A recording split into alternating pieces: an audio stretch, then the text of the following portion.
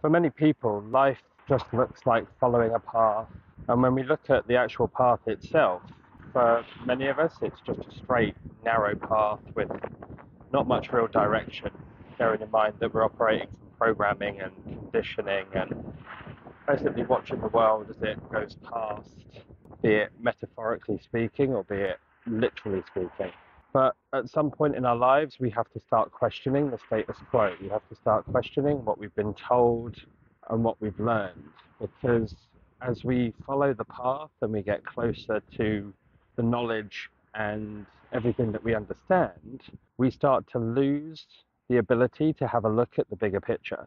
And when we start to look at the bigger picture, we can then take that step back and we can start seeing that there's things on the horizon, there's other options, there's other avenues, there's ways of doing things that potentially weren't available to us with the original set of instructions or programming or survival adaptations.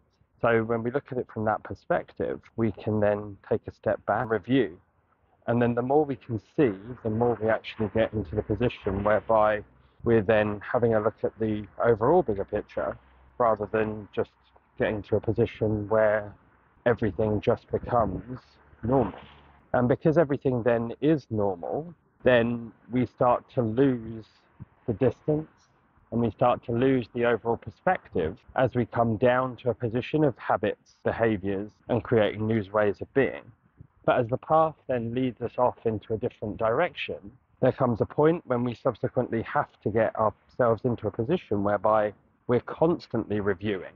We're constantly looking for new ways of doing things, better ways of doing things. And then at some point, we'll then get back to the position whereby we can start looking towards dreams and goals rather than putting ourselves in a position whereby we're literally just running the same patterns of behavior and running the same scripts and the same stories. And then what you find is that life then becomes relatively straightforward and easy, but it's more so because you're looking at your shadow elements. You're looking into a position whereby you can see them and you've addressed them in order to then redirect your path as you move forward. But as with all things, you'll get into a position whereby we do have more shadow and we do have more conditioning and more programming the question is, what do we do at that point?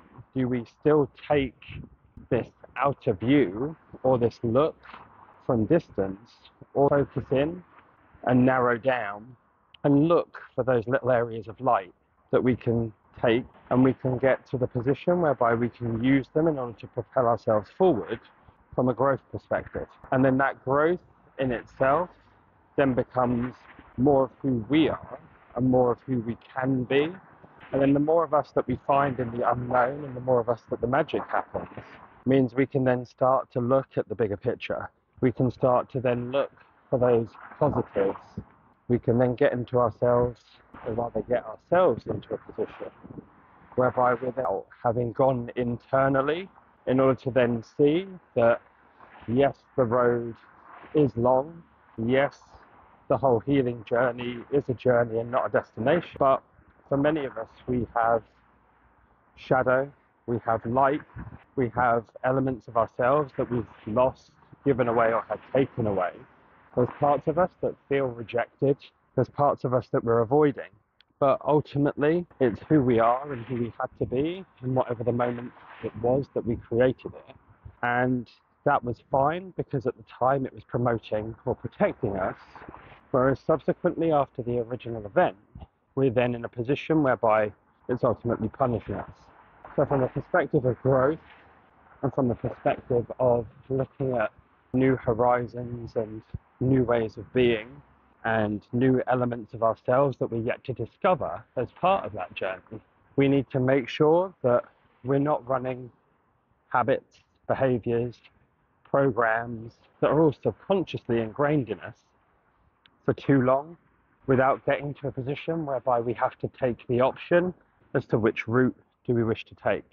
And then from there, we can make educated decisions using critical thinking.